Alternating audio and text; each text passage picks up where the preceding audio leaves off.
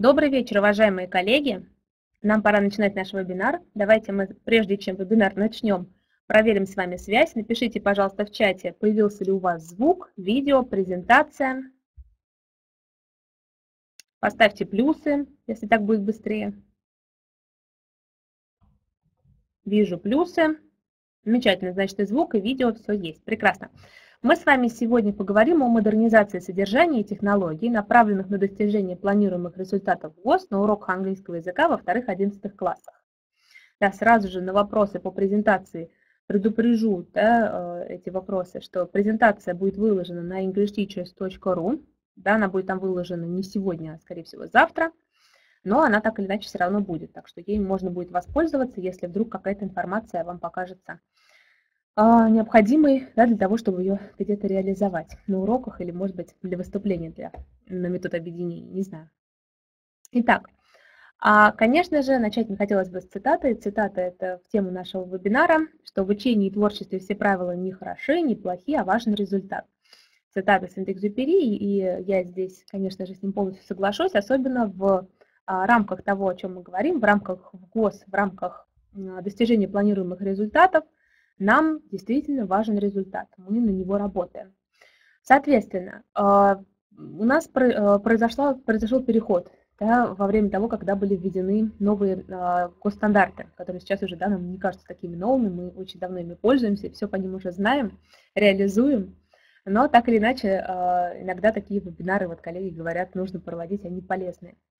По модернизации содержания, конечно же, каждый последующий в ГОС содержит в себе что-то, что осуществляет преемственность перед, э, между предыдущим ГОСом и следующим. То есть ГОС дошкольного образования имеет э, связь с ГОС для начальной школы, соответственно, который имеет связь с ГОСом для основной школы, потом старшая школа, и спецгосы для обучающихся с ограниченными возможностями здоровья и с интеллектуальными нарушениями.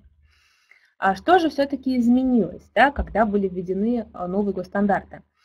Произошел переход от парадигмы знаний, умений и навыков, да, то есть когда мы вкладывали в головы, в головы наших учеников готовые знания, переход к развитию личности обучающегося, да, мы на это теперь делаем упор обязательно, и это, собственно говоря, главное, что мы делаем, и на достижение личностных, метапредметных и предметных результатов. То есть мы также еще и смотрим на то, а, например, как у нас формируются универсальные учебные действия наших учащихся. То есть это все происходит, конечно же, этот переход да, от парадигмы знаний, умений и навыков к формированию э, личностных э, метапредметных и предметных результатов, да, к достижению этих трех групп результатов, он обоснован системно-деятельностным подходом, на котором в ГОС построен. А неотъемлемой частью ядра федерального государственного образовательного стандарта, конечно же, являются универсальные учебные действия, и мы о них подробнее немножечко поговорим. Судить об образовательном результате нам следует по тому, насколько хорошо сформированы универсальные учебные действия наших учащихся. И если УУД успешно формируется, значит идет процесс развития личности и достигаются цели образования. Есть определенные условия для реализации универсальных учебных действий. В первую очередь, это, конечно же, активность наших учащихся, то есть они должны быть э, активны в том, что приобретать знания, да, они должны знать, что они к этим знаниям должны стремиться, что учитель на уроке их направляет, а они должны решать э, поставленные перед ними задачи да, учителям или даже когда они сами эти задачи перед собой ставят, чтобы решить ту или иную проблему. Также да, знания добываются обучающимися самостоятельно в рамках познавательной и исследовательской деятельности. Обязательно используются ИКТ, э, информационно-коммуникационные технологии, партнерство, содеятельность и сотворчество между субъектами образовательного процесса и переход от репродуктивного обучения, то есть когда мы давали какую-то сумму знаний, закладывали эту сумму знаний в наши конспекты уроков, проводили эти уроки, и учащиеся по итогам проведенных уроков а, потом просто выходили у нас с багажом знаний, которые мы заложили. Но при этом они сами а, только выполняли те задания, которые мы перед ними, те задачи, которые мы перед ними ставили. То есть они сами перед собой никаких задач на урок не ставили.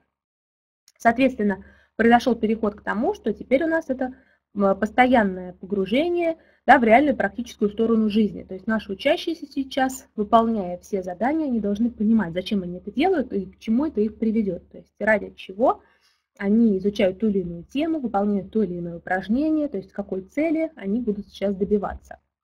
Соответственно, у урока, который мы сейчас проводим, есть определенные тоже черты, то есть черты современного урока в соответствии с ВГОС. Да?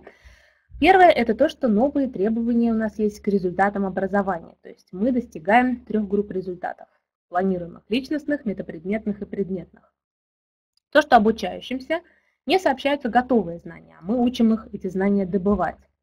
И то, что мы строим индивидуальную образовательную траекторию, когда у нас есть учащиеся, допустим, в классе, которые каким-то образом отстают по каким-то, опять же, да, тем или иным причинам, Соответственно, мы должны сделать так, чтобы э, именно к этим учащимся найти какой-то свой собственный подход и построить им отдельную такую да, образовательную траекторию в рамках того, что они все равно будут обучаться вместе с остальными обучающимися в классе. То есть стараться, например, чтобы они все равно поняли материал так, а, настолько, насколько это было запланировано, то есть настолько же, насколько поняли все остальные учащиеся в классе. Что же такое универсальные учебные действия, да, раз мы про них будем более подробно говорить?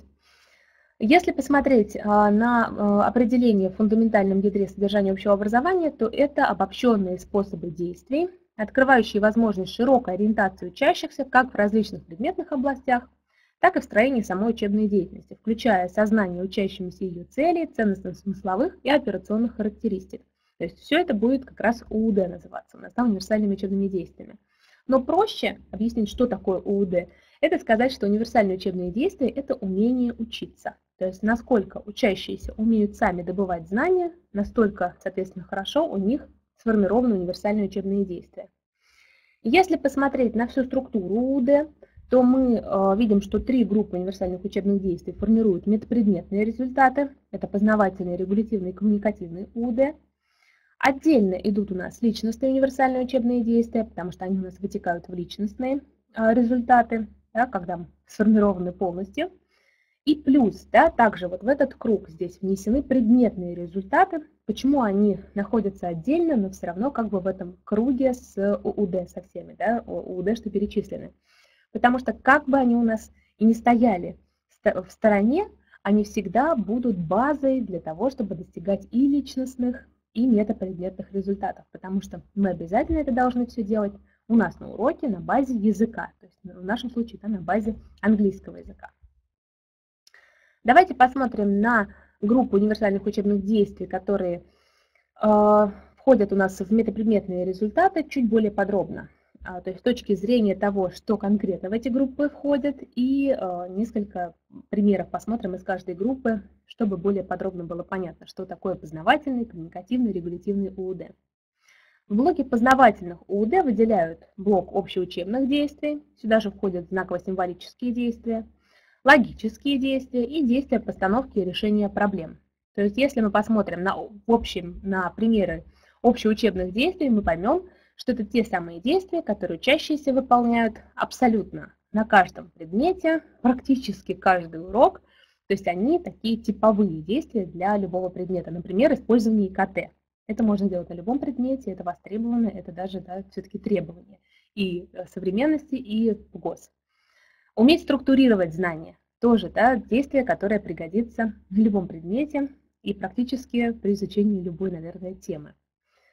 Это поиск и выделение необходимой информации. Тоже такой пример, который абсолютно к любому предмету будет подходить.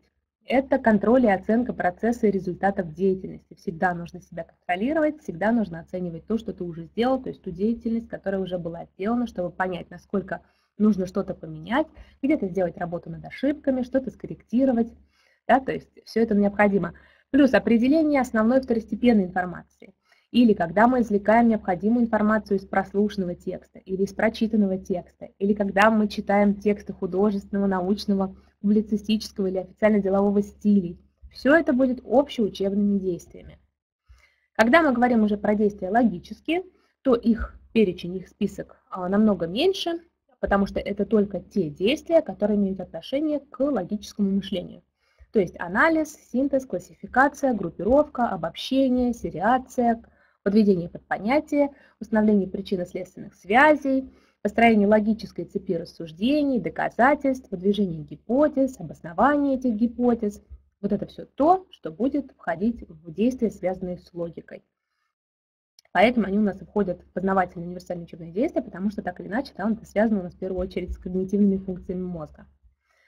Действия постановки и решения проблем. Да, э, здесь все очень просто, потому что уже в самом названии этой группы, э, подгруппы УУД, понятно, что это все, что будет касаться решения проблем творческого и поискового характера. То есть это все наши творческие задания, это все проектные задания, где мы какую-то себе проблему выдвигаем, ставим, потом ее решаем. То есть это тоже познавательные УД.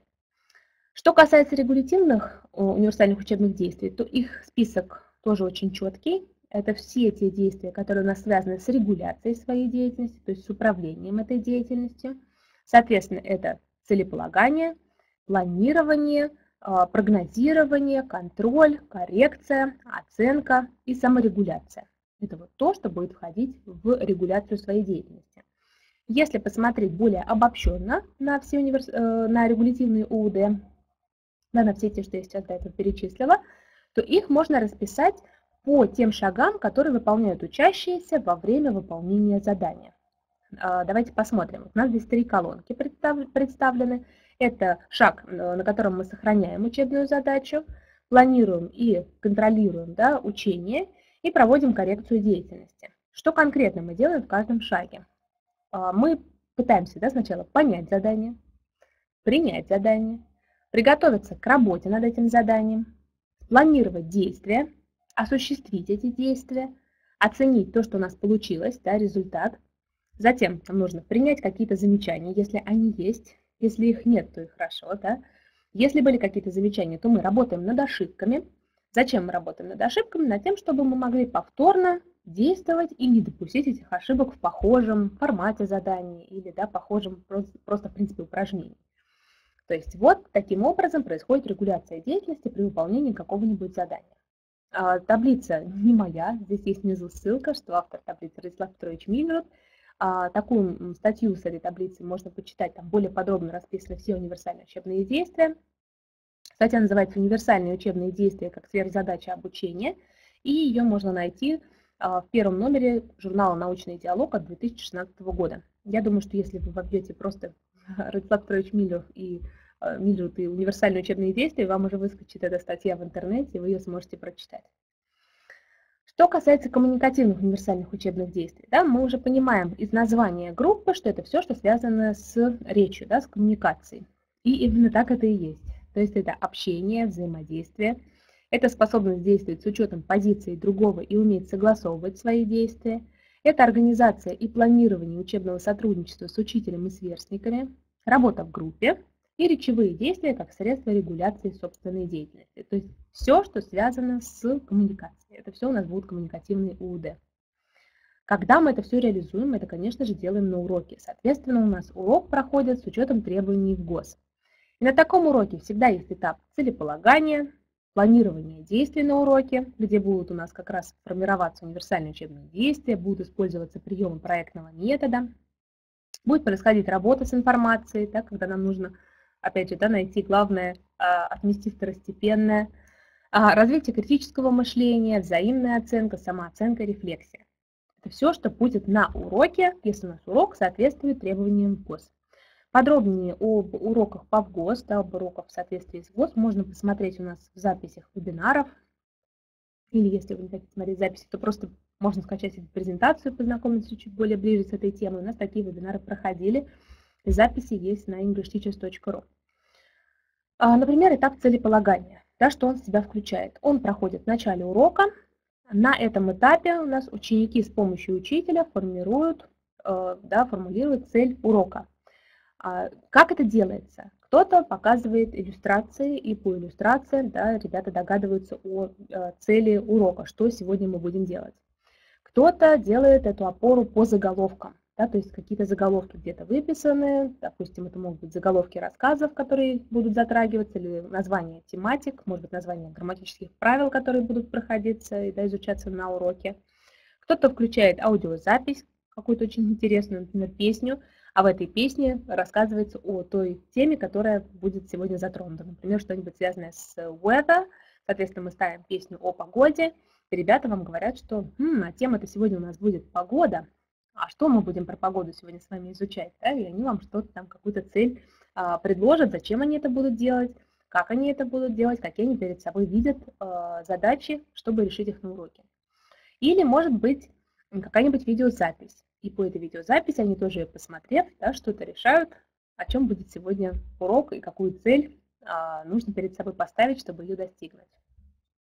Соответственно, э, на таком уроке у нас каждый этап урока несет в себе э, формирование каких-то универсальных учебных действий. Например, на этапе объявления темы урока, которую, конечно же, формируют, э, формулируют сами учащиеся, да, мы только подводим их к осознанию темы.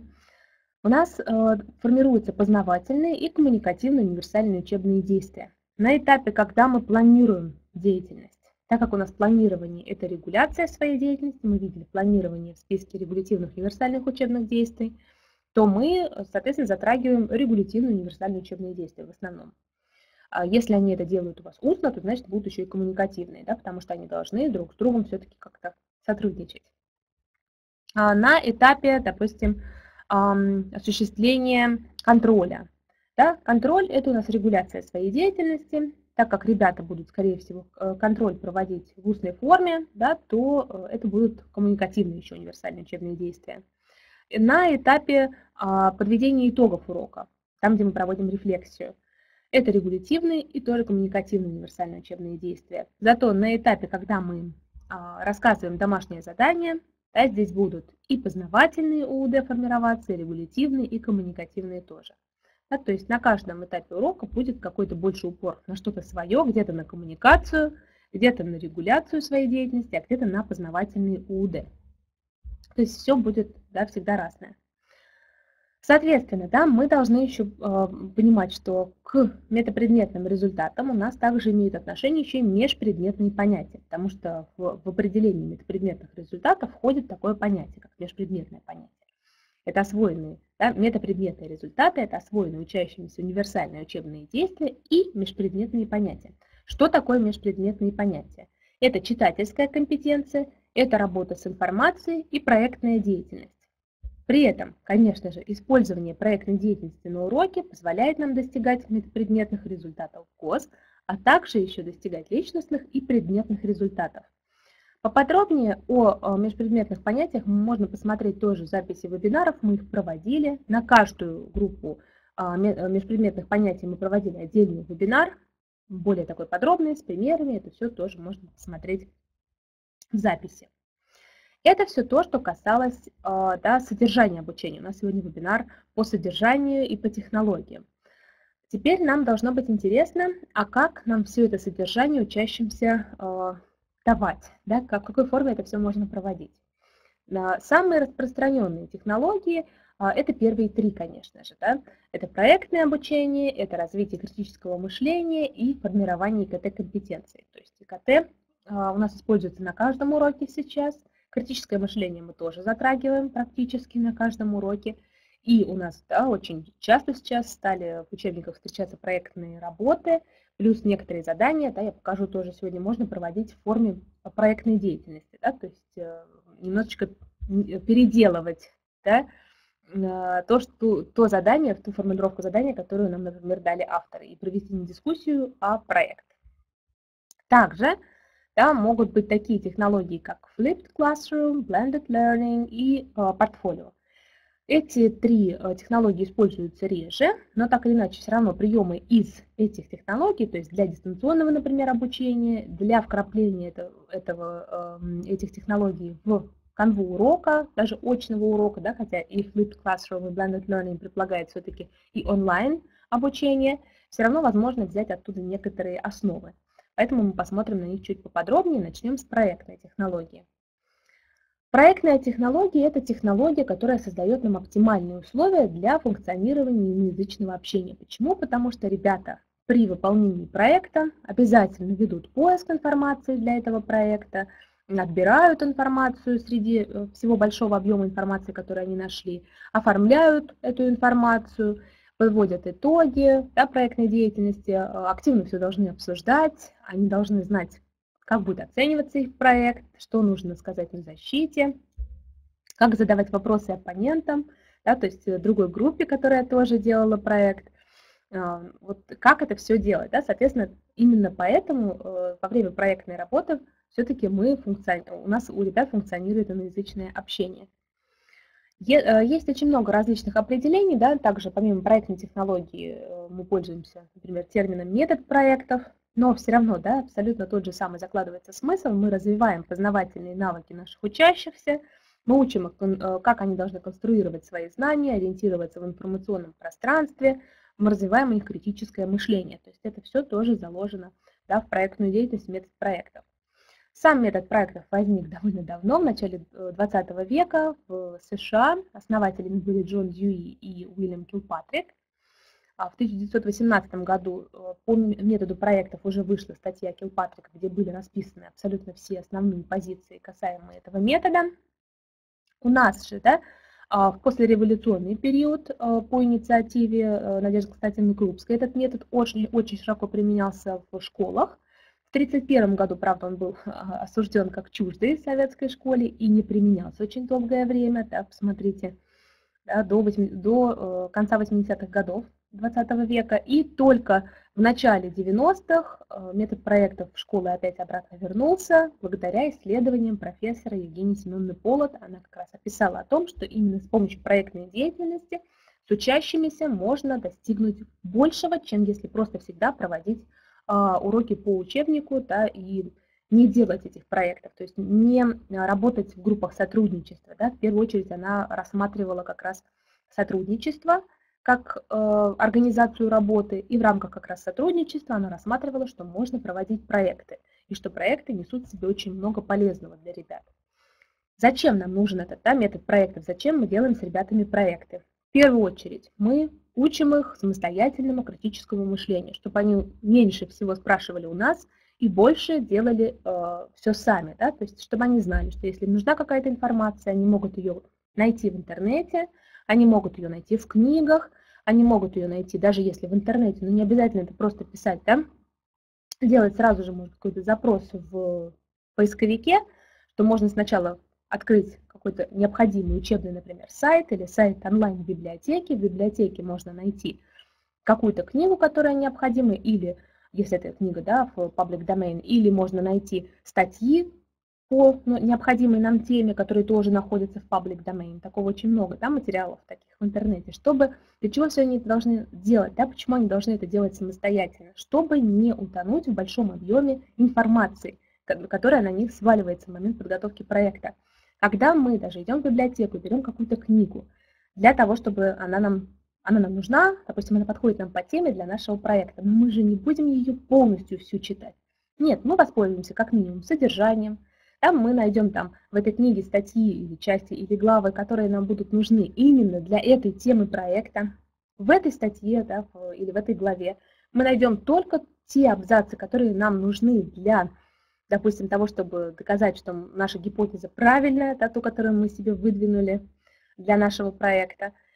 И э, если учащийся не знает, как с этим текстом поработать, если он не умеет всего этого делать, то, конечно же, да, у него не получится.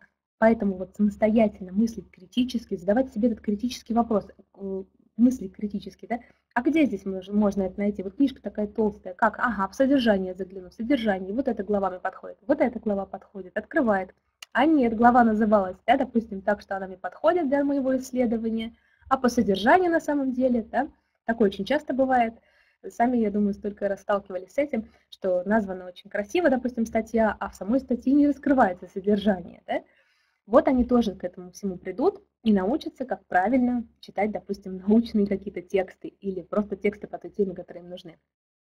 Также они научатся размышлять, опираться на знание фактов, закономерностей науки, делать какие-то обоснованные обязательно выводы, то есть не просто умозаключение по результатам того, что ему пришло в голову, а относительно того, что он какие-то факты нашел, вычитал, да, у кого-то узнал, провел э, опрос, анкетирование, да, то есть чтобы всегда был, было какое-то подтверждение. Научить их применять самостоятельные аргументированные решения, особенно всего, что касается а, распределение обязанностей в группе, да, кто что будет делать, а, оформление проекта, кто будет готовить текст выступления или, может, они будут его делать все вместе, тогда кто будет, э, в какой последовательности они будут его представлять, а, как будет выглядеть итог проекта, что это будет на выходе, презентация, может быть, какой-нибудь онлайн-блог, может быть, это будет видео какое-то, да, которое ребята сделают. То есть в это все нужно обязательно тоже ребят окунать, чтобы они этому учились. И научить их работать в команде можно с помощью метода проектов и выполнять разные социальные роли. Да? Но я думаю, что это понятно относительно того, как организуется проектная деятельность.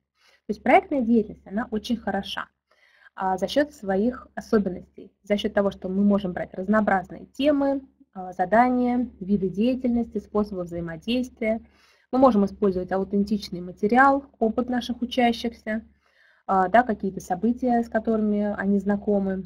Можем использовать то, что у нас будет взаимосвязь учебного материала с опытом и с потребностями наших учащихся, использовать их личную вовлеченность, чтобы они получали удовольствие от работы, а в связи с этим у них повышалась мотивация, да, то есть э, когда они видят, что их проект нравится, когда им даже самим нравится работать над проектом, может быть, в конце, э, на выходе получится, не знаю, не очень э, красивый постер да, или плакат, может быть, не очень, я не знаю, качественная презентация, потому что в ней будут, возможно, ошибки или не хватит где-нибудь ссылок на какие-то картинки, да, но так или иначе, вы им скажете да, на этапе корректировки, что вот нужно было сделать, наверное, все-таки поставить ссылки на картинки, они вам скажут, ой, да, мы забыли, но в следующий раз, когда они, когда они будут делать такой проект, они все равно останутся на ажиотаже от того, что да, их похвалили, что все, они молодцы, вот только нужно было вот то-то и то-то доделать. Они все, что вы им говорили, как небольшие, да, корректировочные такие подсказки выполнят, и в следующий раз у них уже проект станет все лучше и лучше, то есть вы создаете у них ситуацию успеха. Это очень хорошо. И, конечно же, во время проектной деятельности у них расширяется словарный запас, потому что они готовят тексты выступления к своим проектам, и в связи с этим все-таки лексику используют не только в рамках того, что вы выучили на уроке и в рамках темы урока, но и даже выходят да, за ее пределы. Какие бывают типы проектов? Типов проектов очень много, они э, делятся по, например, доминирующей деятельности в проекте. Если это больше творчества, значит проект творческий. Если он, допустим, вы делаете что-то, что в итоге можно использовать, допустим, для обучения, да, это будет практикоориентированная деятельность. Если это проект, в котором все завязано на том, что нужно найти информацию, он будет поисковый. Если нужно исследовать, проводить опросы, искать информацию, связано что-то еще и с цифрами, да, с какими-то процентами, то это будет исследовательский проект. Связано что-то с делением ролей, ролевой проект, да, особенно, может быть, с играми.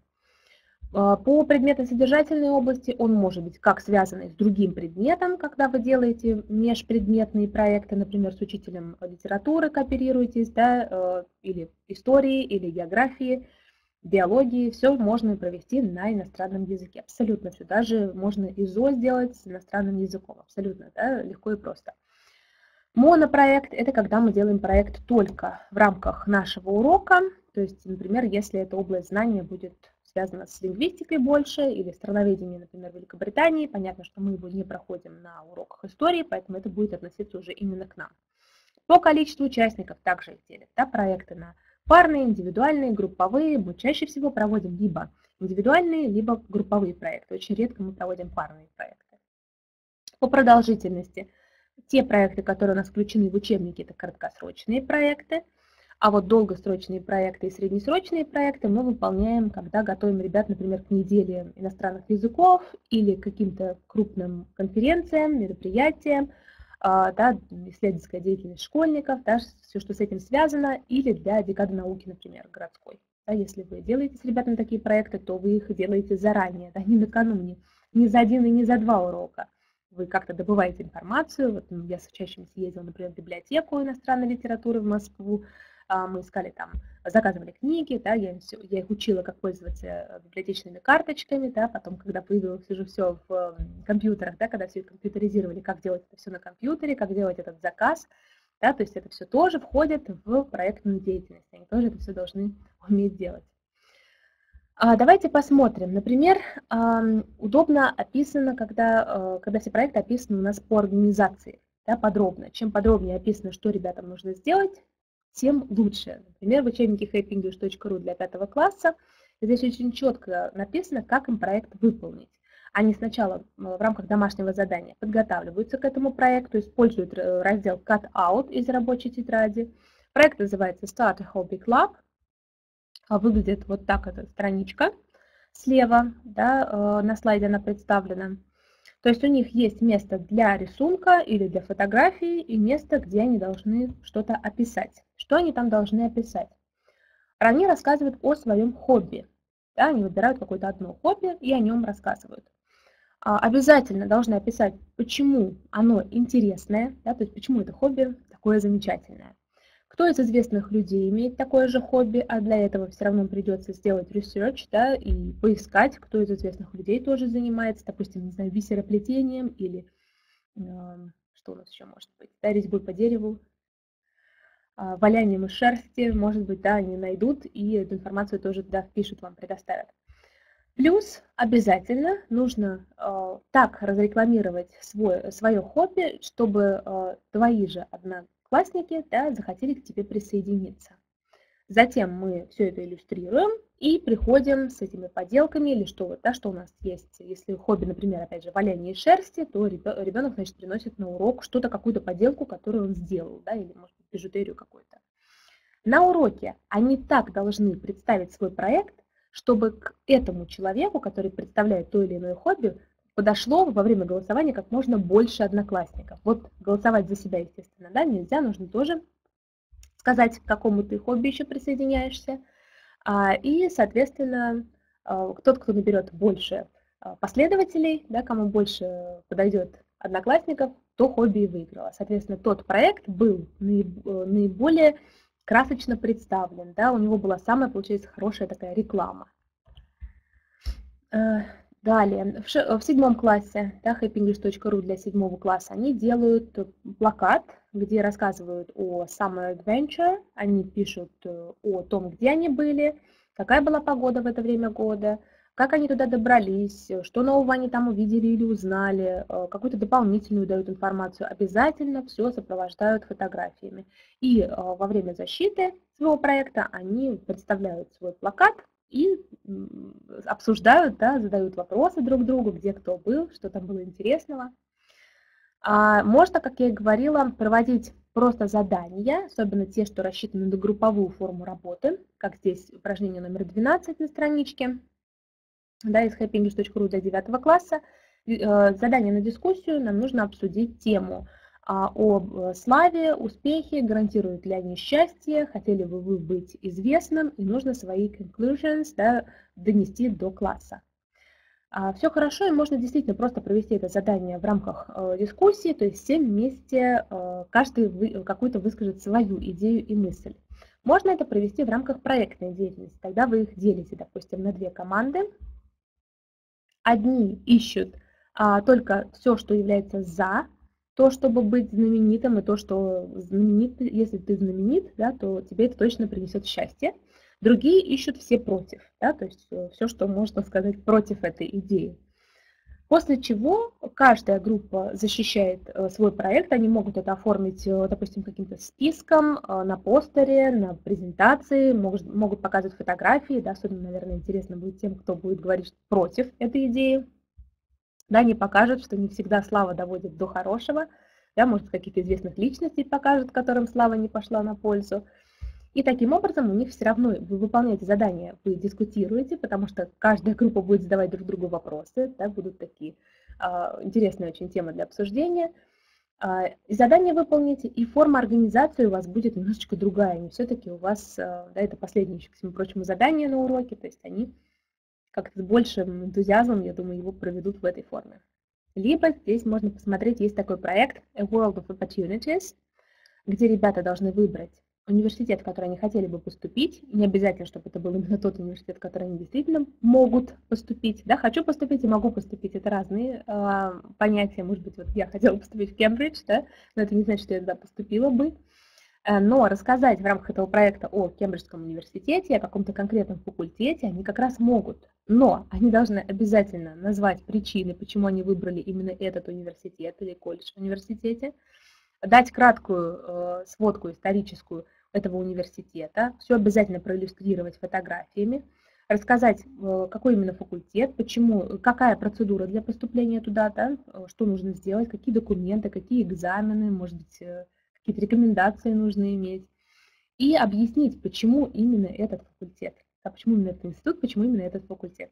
Очень интересный проект, его можно оформить тоже в очень различных э, формах. Да, и, допустим, потом тоже проголосовать, кто хочет поступить на этот же факультет, в этот же университет.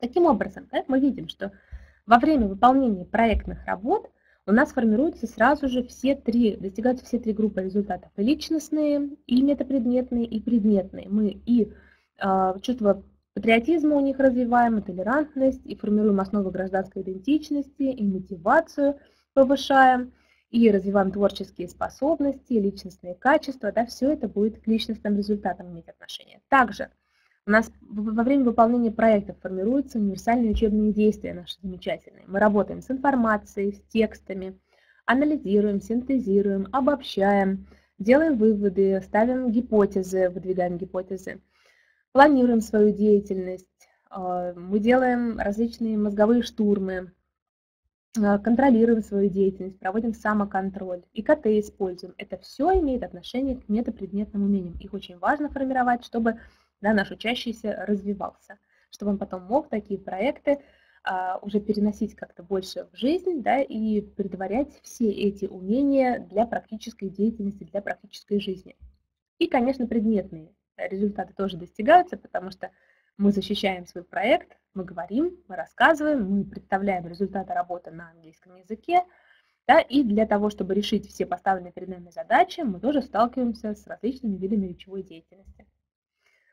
У каждого проекта да, есть, конечно же, структура. И, как правило, такая индивиду... Э, конкретная структура, да, она включает в себя три шага обязательных. Это анализ, формулировка замысла цели и выполнение проекта плюс подготовка итогового продукта. В первый шаг входят э, такие задачи, как а, формулирование идеи, когда мы конкретизируем проблему, выдвигаем гипотезу и переводим нашу проблему, одну, которая у нас была поставлена, в серию задач для выполнения. То есть что нужно сделать, чтобы решить поставленную перед нами проблему. Соответственно, мы решили, да, что нужно выполнить серию каких-то задач. Мы планируем этапы выполнения этих задач. Что нужно сделать, чтобы решить теперь каждую задачу. Обсуждаем средства, которые мы будем использовать для решения этих задач. И реализуем свой проект. То есть выполняем все по плану, а, что мы решили делать. Далее.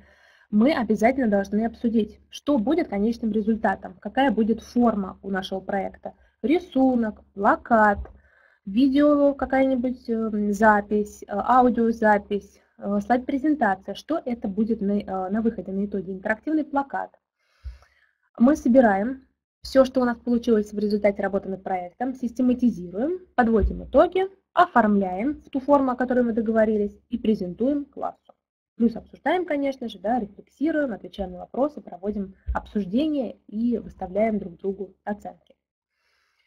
По организации проектной деятельности, да, если посмотреть, то на каждом этапе у нас э, достигаются те или иные э, результаты в ГОС. Например, на этапе подготовки мы развиваем мотивацию, получаем знания из других предметных сфер, да, в принципе, получаем предметные знания. На этапе выполнения проекта мы развиваем исследовательские умения, творческие способности, речевые умения. На этапе создания конечного продукта развиваем творческие способности, предметные умения – на этапе оценивания мы э, да, учимся проводить самоконтроль, контроль, то есть на каждом этапе будет все равно достигаться что-то свое.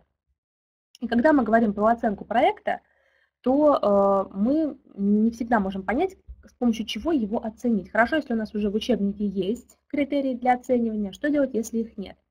Можно проводить самооценку на основе self-evaluation cards или какой-нибудь иной опоры, можно проводить оценку по заранее а, объявленным критериям, да, то есть чтобы они знали, что будет учитываться. Можно просто назвать номинации и в каждую номинацию э, несколько проектов вынести. Самый красивый проект, самый информативный проект, самый хороший язык на презентации. Можно провести рефлексию по вопросам. Что понравилось, что не понравилось, чему научились во время выполнения проекта, что теперь я могу делать с помощью английского языка. То есть вот такие могут быть приемы на оценивание. В New Millennium English для шестого класса, например, после проекта Earth Day Every Day ребят э, спрашивают с помощью вопросов. То есть проводится рефлексия в форме вопросов, и они на них отвечают и решают, что получилось, что нет, все ли участвовали при выполнении проекта и при его защите. Или когда мы используем такие evaluation cards, а, как тоже да, в New Millennium English для девятого класса, Здесь ребята после презентации проектов, они делились на три группы, должны заполнить на каждую группу по э, пяти критериям а, баллы. Не больше четырех баллов можно поставить, да, эм, up to four points а, за каждый критерий. Максимально, соответственно, каждая группа может набрать 20 баллов. Вот тот, кто набрал больше баллов, у того получается самый успешный проект. Какие могут быть идеи для проекта, если посмотреть на это с точки зрения итогового результата, что можно оформить да, в конце. Это может быть, например, реклама. Да, то есть не всегда это будет просто PowerPoint-презентация или плакат, нарисованный на бумаге. Может быть рекламная брошюра. Например, что можно туда внести? Свой учебник можно прорекламировать. Можно прорекламировать то пособие, которое вы сейчас используете дополнительно. Может, у вас есть ридер, да, вот вы его, например, прорекламируете. Можно сделать проект с автобиографией. То есть каждый пишет сначала автобиографию себя, потом вы их все объединяете, у вас получается автобиография класса. Можно писать биографию какого-нибудь известного человека. Если он более известный, о нем уже давным-давно все все знают, то про него очень много информации в интернете, значит проект будет просто информационным, простым, да, по а, своей а, организации, по работе над ним. Если эта личность еще недостаточно хорошо изученная, может быть какая-нибудь восходящая звезда эстрады, да, то о нем будет об этой звезде меньше а, информации, например, в интернете и в других каких-то источниках, в журналах, соответственно, больше придется проводить эм, времени для того, чтобы найти информацию, и вплоть до того, что использовать приемы исследования. Например, провести опрос а, в параллели классов, а кто-нибудь слушает музыку вот этого исполнителя, да, и потом научить можно ребят, как считать эти проценты, рисовать диаграммы, да, что вот мы провели исследование, например, 5% только учащихся пятых классов нашей школы слушают этого исполнителя. Да, и потом сделать какие-то выводы. Значит, этот исполнитель не очень популярный. Они слушают они его вот потому-то, потому-то и потому-то. Были выделены такие критерии. Давайте мы подробнее разберем. Вот там проект. Можно э, вести проект блог. Это может быть проект э, долгосрочный. Главное, чтобы была какая-то определенная тема. И э, лучше, конечно, когда это все с использованием ИКТ-компетенции, но если вдруг нет возможности делать его в интернете, тогда можно его сделать просто на бумаге. Может быть проект «Настольная игра». А, понятно, что с нуля вряд ли да, можно придумать идею какой-то настольной игры. Скорее всего, это всегда будет что-то переделанное из уже знакомого. Но я думаю, что Твистер, наверное, они не переделают, сложновато. Зато любую board game с кубиком с фишками всегда можно переделать на какой-то э, свой манер, придумать новые правила, новые фишки, новую доску, э, да, новые, в принципе, даже правила игры. Э, может это выглядеть, допустим, вот так. Да, есть start, есть finish, да, э, есть какие-то определенные параметры, когда попадает э, фишка на э, то или иное поле. Или вот так может это выглядеть, когда даже ребята сами сделали фишки, сами сделали там различные пункты destination, которые, да, которых они достигают. Есть э, даже это не с помощью кубика, а с помощью, вы видите, да, сфотографирована такая крутилка с цифрами, сколько шагов, сколько ходов можно сделать вперед. Да, и они выполняют какие-то действия. Можно сделать э, брошюру, например, с ребятами о спектакле, который вы будете ставить, если у вас есть такой drama club, или о книге, которую вы читаете, о школе, о кружке, который вы ведете. Можно провести с ними книжный кружок или ввести это, в принципе, как проект, да, организация книжного клуба. Тогда у вас будет там распланировано, какие вы будете читать книги, все ли будут читать одинаковые книги, да, может быть, все будут читать, наоборот, разные книги, будете задавать вопросы, общаться, вести дискуссию, проверять, насколько хорошо ребята умеют слушать друг друга. Можно проводить э, как проект э, буктрейлеры, то есть э, на итоге, на выходе результатом будет уже сделанный буктрейлер. А во время выполнения проекта они будут еще и описывать, как они его делали, как они писали к нему сценарий, что там где должно возникать, появляться. Да? Буктрейлеры такие могут быть как просто интерактивными, где ребята не делают никакую съемку, они себя не снимают, они все делают с помощью картинок, э, программы, которая позволяет делать интерактив, да, например, с помощью Powtoon программы, да, вы, я думаю, ее уже знаете. То есть они, э, основная здесь их задача научиться работать с информацией, сокращать большой текст, потому что, например, они знают Алису в «Стране чудес», они знают, что там происходило, они как минимум да, краткие а, отрывки читают, да, в учебниках тоже они часто встречаются, или про Мэри Поппинс, например, да, они знают, о чем книга. Но самая главная задача – это такие интересные из нее использовать цитаты, какие-то рекомендации, которые дал какой-нибудь журнал на эту книгу, как отзыв, или, может быть, свои какие-то рекомендации. Или очень интересно сформулировать основную идею этой книги так, чтобы не рассказать все в буктрейлере, о чем эта книжка, а чтобы только дать такой небольшой, да, закинуть крючок, чтобы посмотревший этот видеоролик захотел эту книгу прочитать. А, что можно использовать? Как я уже сказала, например, программу Powtoon, да, для того, чтобы делать сами интерактивные ролики. А, плюс можно использовать просто программу, которая позволяет монтировать видео, и для нее, например, использовать э, рисунки или из бесплатных, да, из public domain, или рисовать их самим, например, с помощью программы autodraw.com, это бесплатный сайт, такой помощник с рисованием различных картинок. Мы выбираем а, значок, он черным выделен в меню слева, это такая волшебная, волшебный карандаш. Этот волшебный карандаш нам позволяет нарисовать очень плохо какую-нибудь картинку. Главное, чтобы по очертаниям программа поняла, что вы хотели нарисовать. Вот здесь у меня была такая не очень удачная юбка мною нарисована. А программа все равно распознала, что я что-то пыталась нарисовать из одежды. Наверху возникает меню, как вы видите, и в нем перечислены различные предметы одежды, среди которых как раз есть юбка, которая мне была нужна. Я кликаю на правильную э, картинку, на правильное изображение, у меня возникает уже нормальное, хорошее изображение этой юбки. Цвет можно было поменять изначально, да, э, вы видите там, можно его поменять и после, да, если выделить всю картинку и кликнуть на нужный вам цвет. Соответственно, ее, эту картинку вы сохраняете отдельно, как-то ее называете, и потом используете для своей, своей, своего видеоролика, например, да, для буктрейлера. Можно с ребятами в качестве такой да, идеи для проектов делать журнал. Да, то есть э, они будут тогда в этом журнале, например, э, писать о жизни школы, класса, э, да, какие-нибудь анекдоты туда писать либо сами, либо просто веселые истории из жизни класса или школы писать. Новости о том, что происходило в классе или в школе, фотографии, да, цитаты, может, каких-нибудь известных людей, подборку делать. А можно сделать проект сценарий. То есть, когда вы с учащимися прочитали какую-нибудь книгу или рассказ, а, и ваша задача, главное, чтобы это была не пьеса, да, то есть еще ничего не расписанного по а, ролям, да, по именно репликам, а сценарий фильма это все-таки у нас небольшое какое-то описание должно быть, где происходит действие, кто с кем встречается и кто, соответственно, что говорит. Да, то есть э, вот они могут, например, писать такой сценарий. А, может быть проект веб-сайт. Да, тогда они создают веб-сайт на какую-то определенную тему с проработанным наполнением, то есть они решают, о чем будет их веб-сайт. Главное, чтобы была основная идея, да, что там будет содержаться. А может быть проект с цитатами.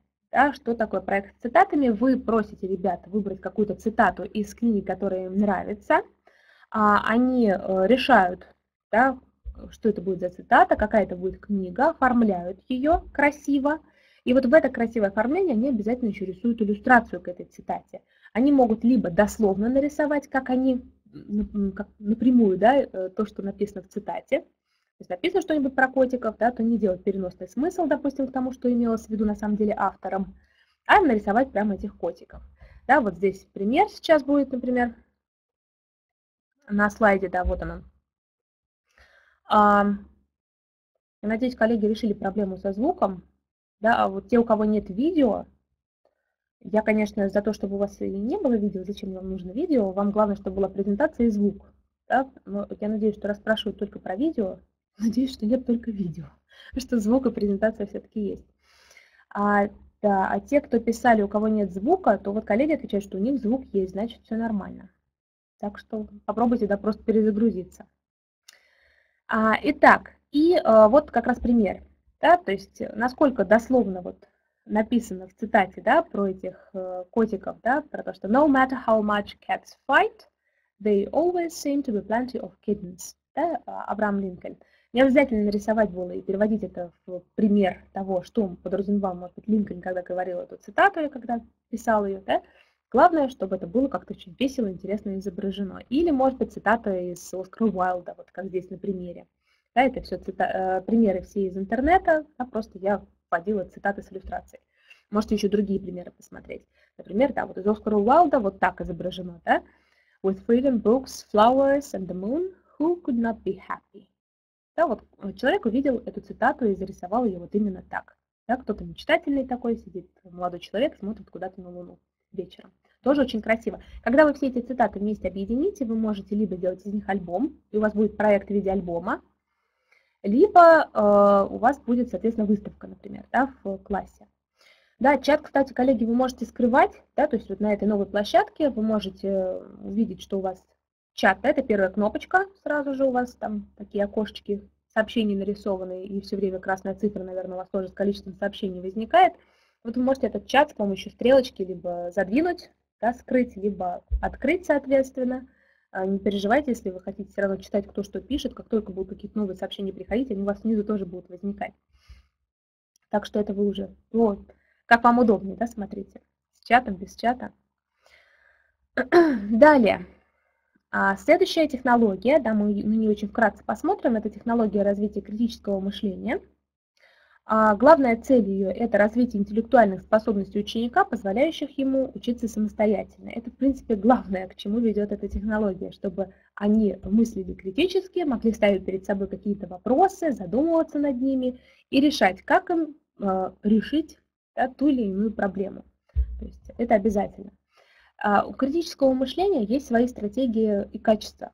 То есть это и умение обработки информации, и способность оценить информацию, определить, правильная информация, неправильная ли эта информация, а способность рассмотреть альтернативные решения, а, учесть э, основанные на фактах мнения, способность сделать выводы на основании каких-то фактов.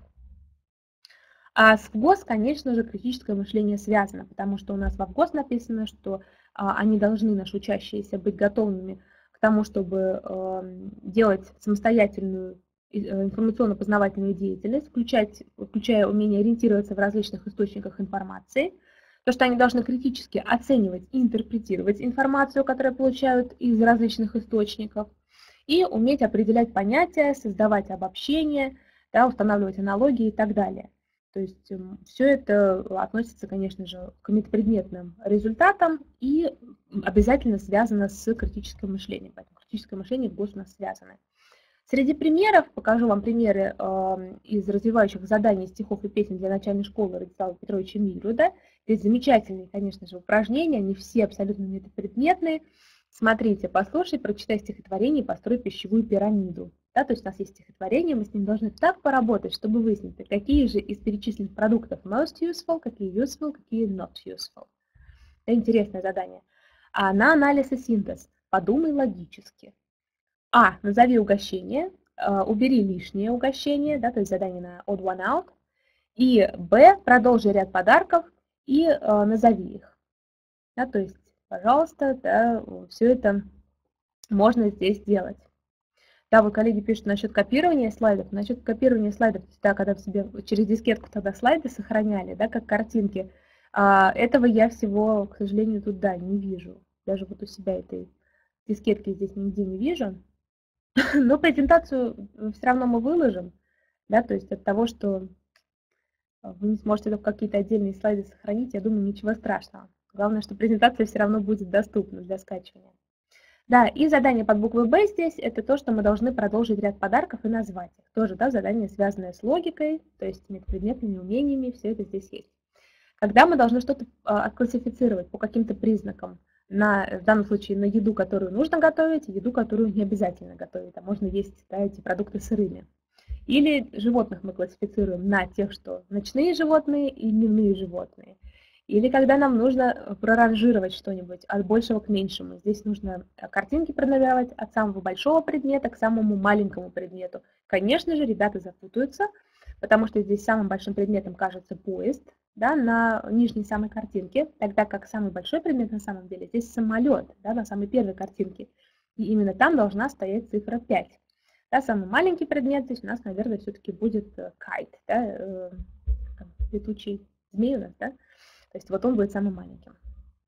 А My Weather Diary, да, здесь они наблюдают за погодой, заполняют дневник, выбирают и рисуют подходящие значки и рассказывают о погоде, вот той, той, что была в течение трех дней, учитывая все те значки, которые они, пока вели дневник, записывали.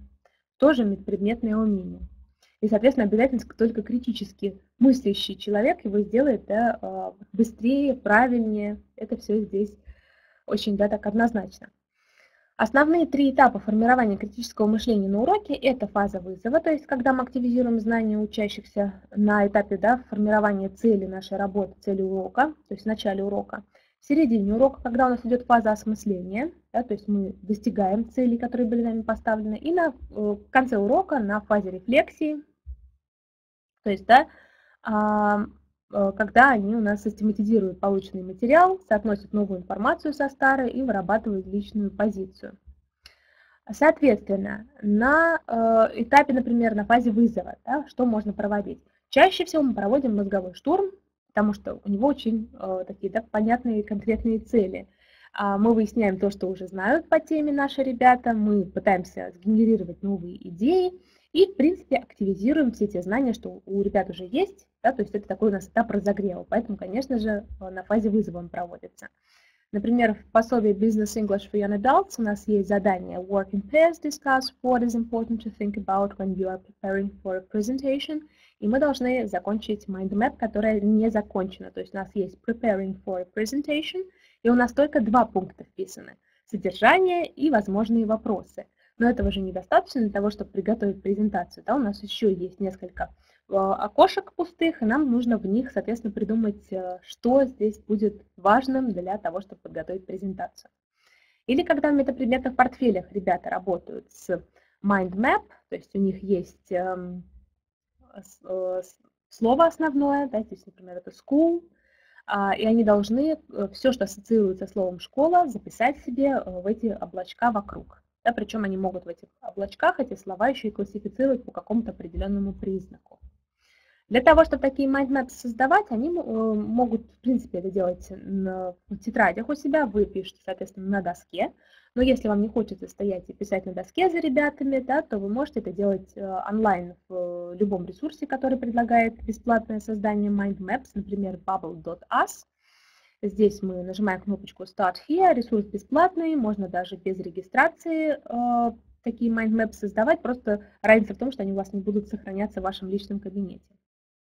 Далее а вы, соответственно, нажимаете да, на центральное окошко, пишите там слово, вокруг которого вы будете образовывать облако из слов, да, у вас, например, school, и к ним вы добавляете остальные слова э, уже паучком, да, books, teacher, lesson, breaks, pupils, все, что вам э, предложит ваш учащийся, и будет это подходить под а, тему school.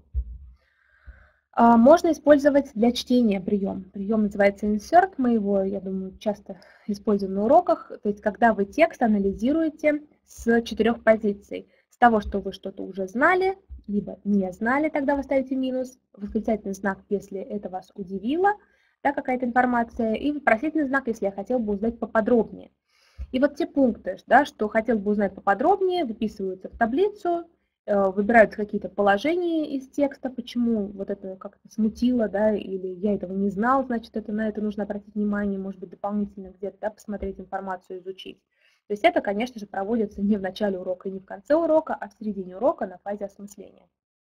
Тексты можно использовать как и из учебника, и с ними так работать, можно использовать тексты из дополнительных пособий, например, из пособия Робин Маккуиз's Diary, где рассказываются истории э, о США. Да, здесь Томас Джефферсон у нас и Декларация независимости. И, конечно же, есть задание к этому тексту, то есть по нему можно поработать и приемом insert, и выполнением как раз заданий, которые даны уже в пособии. На фазе осмысления, на фазе рефлексии, то есть в середине урока и в конце урока, а, можно применять прием толстые и тонкие вопросы. То есть толстый вопрос – это когда мы уже в самом вопросе сообщаем какую-то необходимую информацию, дайте три объяснения, почему главные герои сделали то-то и то-то. Объясните, почему произошла такая-то вещь с главным героем в этом рассказе. Да, то есть здесь уже абсолютно понятно. Да? Или в чем различие между, вы называете уже тем-то и тем-то. То есть мы в самом вопросе уже понимаем, о чем идет речь. Есть небольшая подсказка. Тонкий вопрос, когда он у нас очень общий и не совсем понятный. Да? Кто что-нибудь сделал, что произошло в тот момент. То есть нужно уже четко знать содержание, да, и это вот такой абсолютно тонкий прозрачный вопрос, который намекает на то, что мы должны что-то знать или найти по тексту.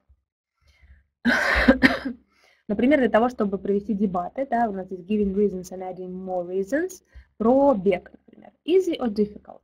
Да, в примере у нас приводится I think running is an easy sport. You just come out of your house and start running. И мы должны придумать различные другие какие-то да, а, формы обсуждения помимо бега, да, что будет легко или сложно. А можно использовать прогнозирование с помощью открытых вопросов на фазе осмысления, то есть да, в конце. Например, что будет с героями дальше спросить по итогу прочитанного текста, почему вы так думаете, как выглядели герои, описать дальнейшие события, попросить ребят. То есть на любом, опять же, тексте из учебника или по итогам выполнения нескольких заданий, если они как-то связаны тематически, можно такие вопросы задавать. А, да, то есть, или любого другого пособия. Также а, мы используем прием а, обязательно с ИКТ. Чем больше у нас сейчас ИКТ, тем ребятам, конечно, это больше нравится. Да? Главное, чтобы оно всегда было а, обосновано, почему мы здесь используем ИКТ. Можно использовать сайты, которые, например, я вам показывала сейчас или которые до этого показывала на вебинарах, связанных с дистанционным обучением. Да, там довольно много было онлайн-ресурсов. А можно использовать обучающие компьютерные программы. Такие программы у нас есть к учебникам happyenglish.ru и к Millennium English. То есть здесь, например, вот на скриншоте из этого упражнения нужно было кликать на грибы. А, и, соответственно, а, если звучит слово и в нем есть звук «т», то положить в левую картинку. Если в слове есть звук «н», то положить в правую картинку. Да, несложное задание, зато оно такое очень интерактивное, ребятам нравится. Либо, возможно, ИКТ-компетенция уже заложена в само э, задание, то есть речь идет именно о чем-то э, интерактивном. Здесь Моргана, Линк учит Моргану работать с компьютером, Моргана все делает неправильно, и мышку не ту берет, и окно не то открывает, идет как окну, настоящее окно открывает, да, а не окно Windows, да. То есть здесь, конечно, заложено это уже в само, в сам, в само задание. А что касается технологий Flip Classroom и Blended Learning, да, то э, это, конечно, уже реже использующиеся технологии, но э, приемы из них мы все равно можем использовать на уроках. Flip Classroom была придумана в 2000 году Джонатаном Берманом и Аароном Сэмпсон. Э, использовалась она для того, чтобы помочь тем ребятам, которые пропускают занятия, да, то есть отстающим, а, основное, основная идея этой технологии, то, что учащиеся дома смотрят а, материал какой-то, записанный на видео учителем, а на уроке уже идет именно внедрение, внедрение того, что они посмотрели на видеолекции педагога. А, в принципе, перевернутое обучение приводит к значительному смещению приоритетов от простой подачи материала к работе над его совершенствованием. То есть не тратится время на подачу материала во время урока. Во время урока все только практическое. Да? А с одной стороны, это хорошо, с другой стороны, конечно же, у этого есть, э, у этой технологии есть минусы, потому что основной минус это то, что нужно готовить эти видео, которые э, учащиеся будут смотреть. На это не всегда есть время, но в случае, если у нас, допустим, карантин, да, или по каким-то причинам учащийся, например, пропустил действительно много занятий, может быть, по болезни, или у вас есть учащийся с ограниченными возможностями здоровья, который э, не ходит а, в класс к вам, да, то вы можете с ним как раз использовать эту технологию. Есть вы все равно для него будете что-то а, снимать на видео. А, или технология blended learning, да, то есть смешанное обучение. Смешанное обучение – это когда мы комбинируем дистанционные методы и методы э, да, офлайн, когда мы видим очное обучение, да, э, дистанционное с очным. А у Blended Learning, конечно же, есть преимущества, так, и заодно тоже и отрицательные стороны у него тоже есть, но преимуществ, мне кажется, больше. Это и то, что образовательный процесс становится более гибким, потому что урок можно проводить откуда угодно. Сейчас вы меня смотрите из разных регионов Российской Федерации, даже за пределами Российской Федерации. да, а я вот нахожусь в городе Обнинск и провожу для вас вебинар. То есть можно это сделать в любое время, в любом месте, да, провести. А, соответственно, количество у вас тоже всегда разное, да, у вас количество слушателей всегда меняется. Например, сейчас сколько у нас участников? 139 человек сейчас слушают. А могло быть вас больше или вас могло быть меньше. А, может, э, конечно же, быть плюсом то, что обучение становится открытым. А, выполняя, например, тест, исключается любое списывание или предвзятость. Да, то есть, когда учащиеся выполняют такой тест, не находясь с кем-то рядом, а, тест, допустим, по грамматике, а, ничто не поможет им его выполнить. Даже если они вдруг что-то отвлекутся от теста, может быть, свернут страницу с тестом, да, скроют ее, откроют вкладку себе, спросят что-то в Google, вряд ли им это поможет решить правильно тест по грамматике или по лексике. Да? Ну, что-то, может, они там подсмотрят, потратят на это время, не успеют доделать тест до конца, если его сделать, да, вопросы делаются, допустим, с количеством времени, отведенное на каждый вопрос. Да, нажимаете «Далее» и идет обратный отсчет, сколько времени есть для ответа на этот вопрос. Все это, конечно же, э, да, можно, можно использовать, но э, нужно знать, что вот ребята все-таки не смогут списать. Это очень большой такой плюс. А плюс, опять же, есть фидбэк, то есть на э, все те видео, которые вы, например, показываете, да, или проводите вебинары, так же, как сейчас вы мне в чате, да, вы можете мне задать какой-то вопрос или написать комментарий, то есть любой фидбэк, он здесь абсолютно да, приветствуется, и в Blended Learning тоже.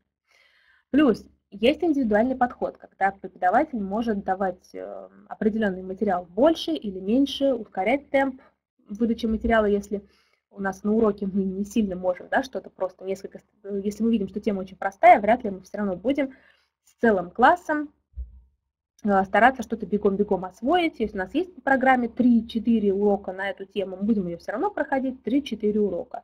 Мы будем подумаем, что вот только лучше все изучим. Тогда как во время, во время проведения по технологии Blended Learning мы можем за один, за два урока все с ними это сделать, оттренировать, даже тест успеть решить, и эти два оставшихся часа потратить на что-то другое, более полезное. Да, может, какую-то проектную работу выполнить. А, следующий здесь плюс написан как плюс, я его считаю как минус, да, то есть что развитие самостоятельности здесь написано.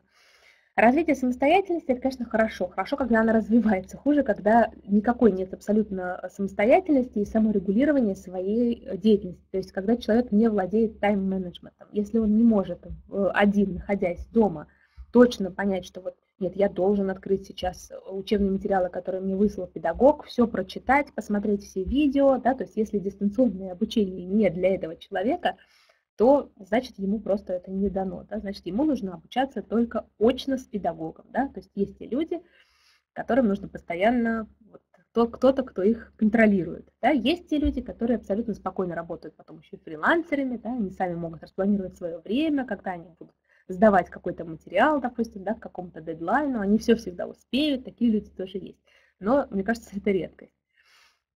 Но так или иначе развивать самостоятельность тоже нужно. Ну и последний пункт здесь в преимуществах – это повышение мотивации. Он, безусловно, плюс, потому что чем больше гаджетов, сервисов мы используем, тем больше это нравится сейчас учащимся. И благодаря тому, что им это нравится, тот материал, который мы даем через эти формы и сервисы, которые им нравятся, он лучше запоминается, он лучше ими усваивается, да, а это нам обязательно нужно. Далее. А, есть, конечно, разные модели смешанного обучения.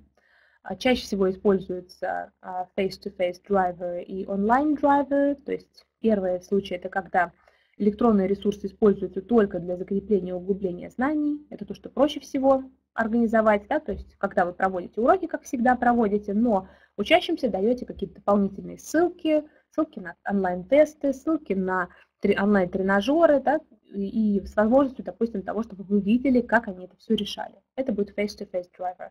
Онлайн-драйвер – это когда вы все даете онлайн, всю информацию, то есть осваивает весь материал ваш учащийся удаленно от вас, но если ему нужно, он всегда знает, где вас найти, поскольку у вас будет консультация, прийти проконсультироваться, потому что он не понял. И так как вы учите сразу большую группу, как правило, да, не меньше, как правило, 10 учеников, из 10 всегда найдется несколько, которые к вам придут с вопросами. А, может быть и flex model, когда основная часть программы онлайн идет, а педагог уже потом просто да, с отдельными учащимися встречается на очном занятии, в группе или индивидуально, что-то дополнительно к этому материалу да, уже а, им рассказывает. То есть вы видите, что моделей очень много, они все разные.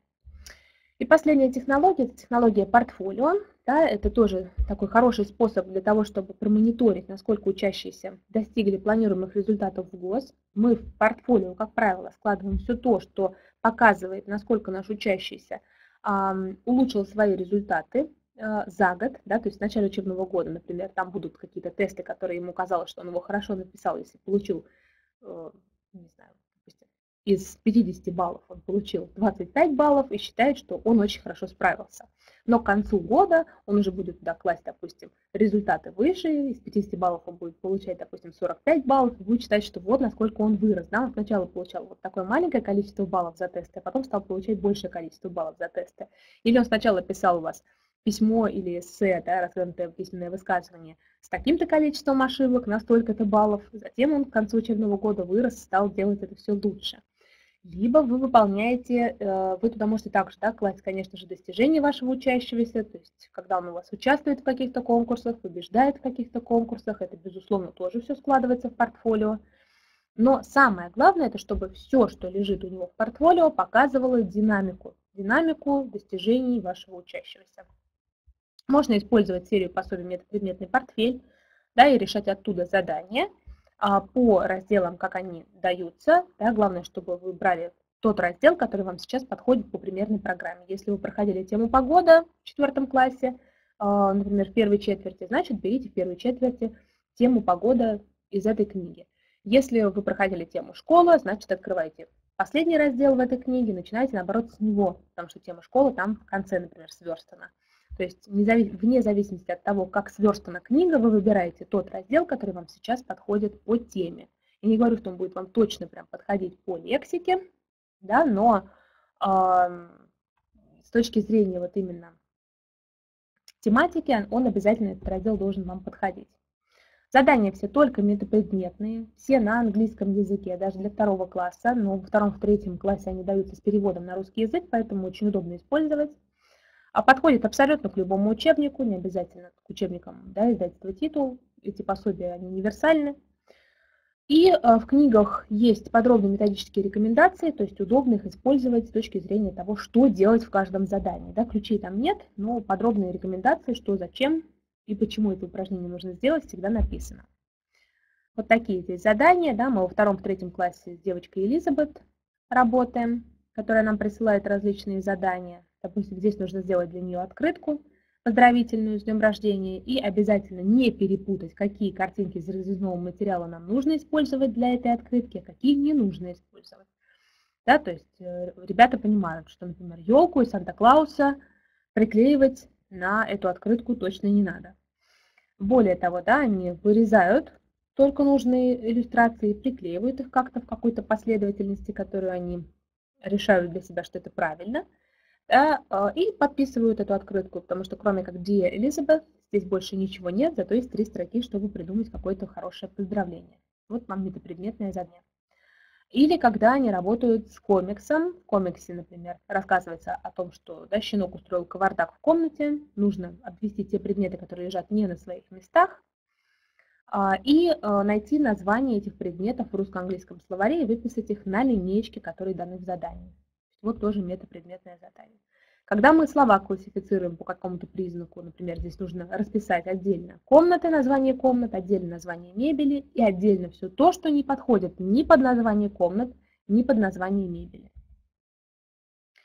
А, ИКТ-компетенция тоже здесь формируется, но уже чуть попозже, в пятом классе, они пишут э, электронные письма, якобы да, э, в ответ другу. На самом деле здесь все письмо уже написано, не хватает только ответа на то, что нельзя написать за учащегося. Нам нужно ответить на вопрос, какие предметы ему понравились в пятом классе, да, потому что учителя меняются, предметы добавляются, да, пятый класс отличается от начальной школы, и вот как раз эта тема здесь затрагивается в письме. Но так как формат оформления это электронное письмо, то ребятам, как правило, это очень сильно нравится и импонирует.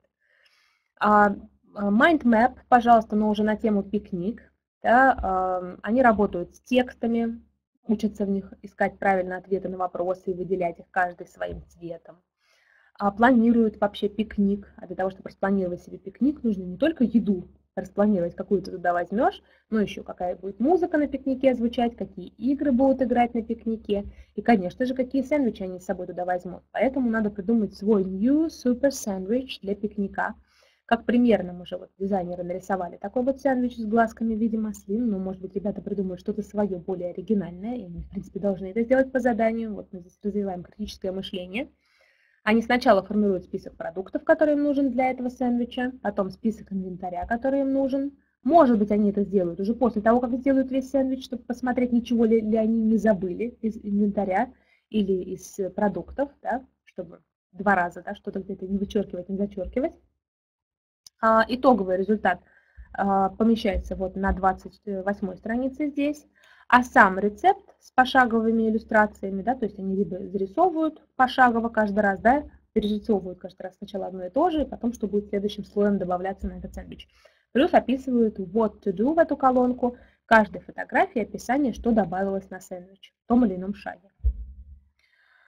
Соответственно, мы с вами посмотрели, да, что, э, как происходит модернизация содержания и технологии обучения в рамках того, что мы достигаем по планируемых результатов. Да, мы посмотрели, насколько меняется содержание, мы посмотрели, с помощью каких технологий удобнее, проще да, э, достигать планируемых результатов. Конечно же, самое простое – это проектное обучение, это развитие критического мышления – и э, то, что касается э, портфолио с достижениями, это тоже то, что мы знаем, как организовать, это просто. Плюс все, что связано с ИКТ, да, пускай это, может быть, будет не технологии перевернутого класса, а какие-то отдельные такие, да, face-to-face model из um, blended learning, да, но так или иначе все равно мы это можем использовать, потому что ребятам все-таки нравится, когда им дают что-то дополнительное, особенно связанное с интерактивом, с онлайн какими-то ресурсами, это им интересно. Мы должны цепляться за все, что мотивирует их к изучению языка. Оставляю вам здесь, коллеги, ссылки на полезные ресурсы и на наш сайт, да, на наш интернет-магазин и на нас в социальных сетях. Мы есть ВКонтакте, в Фейсбуке, в Инстаграме. А, да, и по хэштегам издательства титул или титул Publishers нас можно найти. На этом, коллеги, у меня все. А, но я вам еще хотела сказать, что у нас сегодня а, есть возможность купить книги серии «Метапредметный портфель» а, со скидкой, со скидкой в 10%. А, чтобы получить, чтобы купить книжки серии «Метапредметный портфель» для 2, 3, 4 или 5 класса, нужно заказать их через электронную почту, то есть не в интернет-магазине, там не будет возможности никуда вставить код, да, то есть вы пишете письмо на shop собакатитул.ру, а, где описываете, какие книжки вы хотите. А, да, нужно это сделать до 11 апреля, до 23.59, то есть до завтрашнего дня, до полуночи. Сутки у нас есть на это, на все. Промокод длинный, посмотрите, да, во, второй, втором пункте он перечислен весь, да, 0410 МП 2345. Посмотрите, вот вы пишете в теме письма этот промокод, отправляете письмо с почтовым адресом своим, сколько вам нужно каких книжек, все описываете, и вам обратно пришлют счет. Вы его оплачиваете, да, и, соответственно, книжки вам приходят. То есть отправить заказ нужно вам да, до 11 апреля 23.59. А уже когда вы сможете оплатить, соответственно, это все можно сделать позже. Главное успеть вот оформить сам заказ за сутки. То есть вот такая возможность получить эти книги со скидкой в 10%. Я думаю, что неплохая, в принципе, скидка, особенно если взять больше, чем одна книжка, наверное, будет очень хорошо. И, а, коллеги, код для сертификата и где получить сертификат, информация в чате.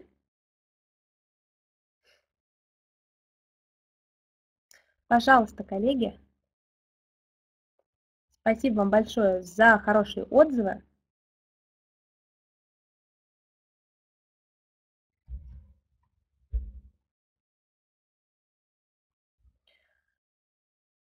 Да, коллеги, как получить скидку тогда, пока у вас будет какое-то время, да, повисит сейчас еще немножко этот слайд.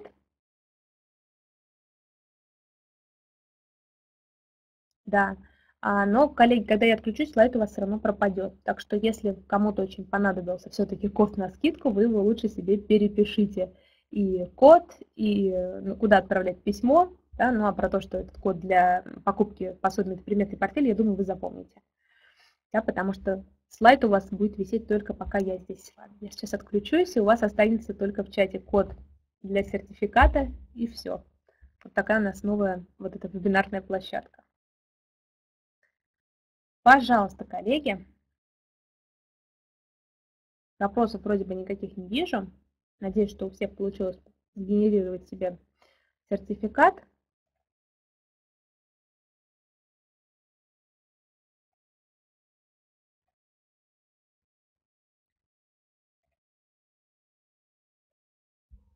Пожалуйста, коллеги, очень рада была увидеть на вебинаре знакомые имена. Все отлично, сертификат скачивается. Прекрасно, коллеги. Надеюсь, что сертификат э, скачался, что совсем вы разобрались, что промокод, кому он был нужен, все себе переписали, или как учил э, да, вам Владислав Юрьевич вас, принтскрин себе сделали. Да, коллеги, большое спасибо и до новых встреч.